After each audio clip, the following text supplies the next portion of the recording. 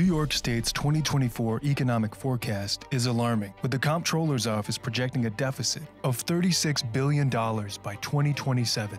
An expired Seneca Gaming Compact could stall operations of one of the region's largest economic engines, costing New York companies hundreds of millions of dollars in business and causing financial instability for thousands of Western New Yorkers. It's time for New York's leaders to stand with Seneca and approve a fair and equitable gaming compact. Learn more at standwithseneca.com.